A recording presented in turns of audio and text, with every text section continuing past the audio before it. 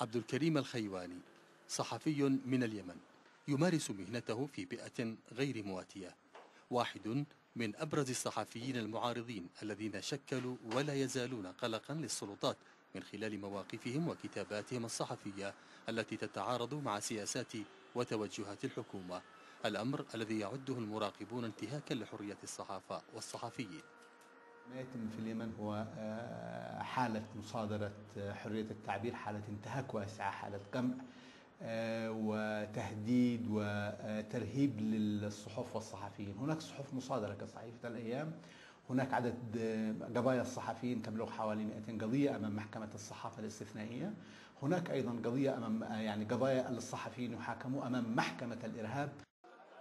تلاقي الممارسات الحكومية القائمة في قمع الصحفيين مع الأساليب والطرق القانونية أسفر عن أسوأ مناخ لحرية الصحافة في اليمن منذ عام 1990 بحسب المراقبين.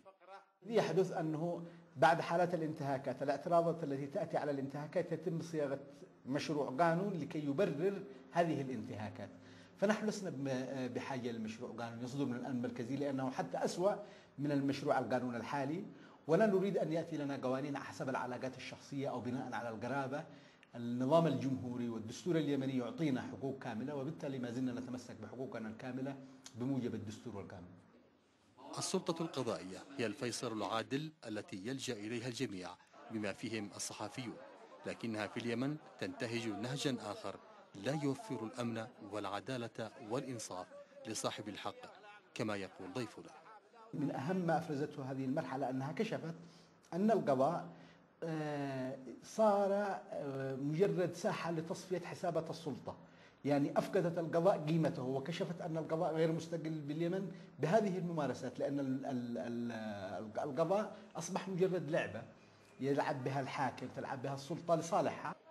هذه القيود المسلطة على الصحف والصحفيين في اليمن تثير القلق في هذا البلد المهم استراتيجيا. الذي وجد فيه المتطرفون الدوليون ملاذا لتنفيذ مخططاتهم المعادية للمجتمع المحلي والدولي عموما.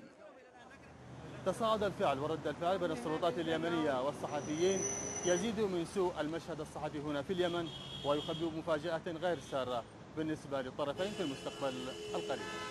عبد الكريم الشيباني لبرنامج اليوم على الحرة صنعاء.